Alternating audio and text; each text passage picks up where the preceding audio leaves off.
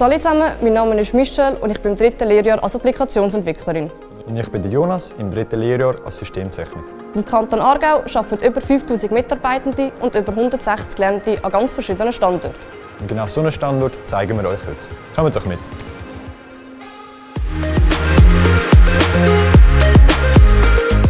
Als Applikationsentwicklerin ist meine Hauptaufgabe das Programmieren von Software.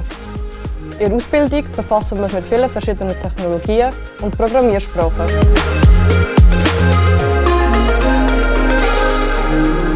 In den ersten zwei Jahren als Informatiker ist man in einer Lehrlingswerkstatt, wo man individuell gefördert wird und sich Grundkenntnisse aneignen kann.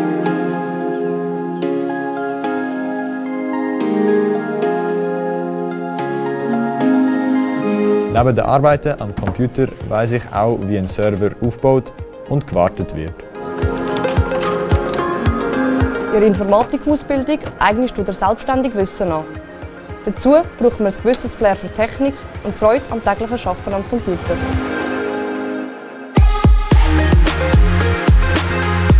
Als Informatiker wird man immer wichtiger und darum ist es ein Beruf mit Zukunft.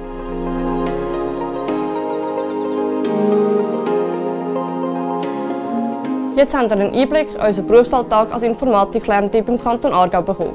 Wenn es euch Spass gemacht hat, dann bewerbt euch jetzt. Denn Menschen machen Zukunft und du bist ein Teil davon.